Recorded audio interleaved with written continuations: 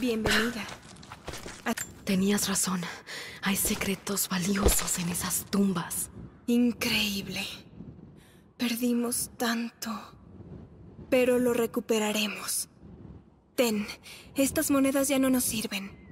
Es un pequeño precio por este conocimiento. Estoy segura de que me servirán de algo.